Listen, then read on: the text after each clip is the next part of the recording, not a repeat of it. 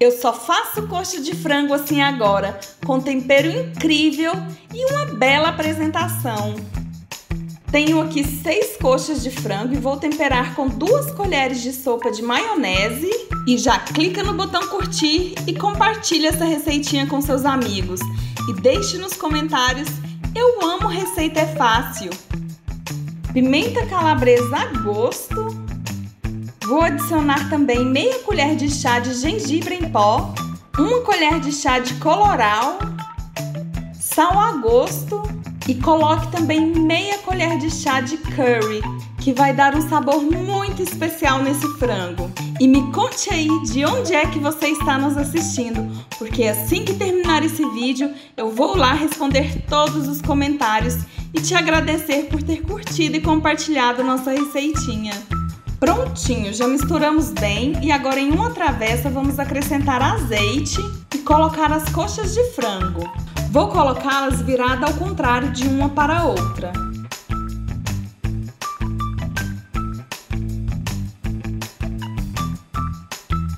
Adicione agora um gomo de calabresa fatiado em fatias compridas. Vou colocando assim entre os frangos e em seguida vou colocar bacon também, que fatiei da mesma forma que a calabresa. Acrescente também uma cenoura fatiada. Meus amores, vocês não têm noção do quanto fica gostoso esse frango assim. Vou acrescentar agora batatas bolinhas fatiadas ao meio. E a quantidade pode ser a gosto. Espalhe as batatas por cima do frango. Adicione tomate cereja a gosto, mas se você preferir, pode ser o tomate normal picadinho. E para finalizar, vou colocar cebolinha verde aqui por cima.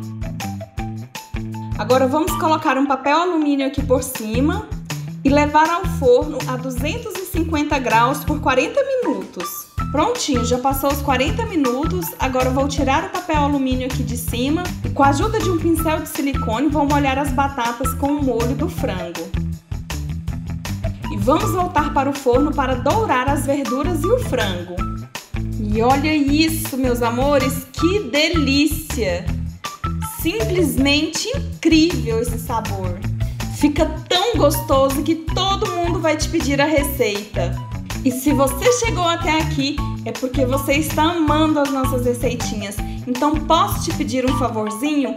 Curta e compartilhe esse vídeo com seus amigos porque isso ajuda muito o nosso trabalho. Conto com todos vocês e desde já agradeço muito. E quero aproveitar para mandar um grande beijo para Marilu de Jesus Castro, que nos assiste da Holanda, e também para Socorro Sarmento, de Manaus, no Amazonas. Muito obrigada pelo carinho, meninas! Então é isso, até o próximo vídeo. Tchau, tchau!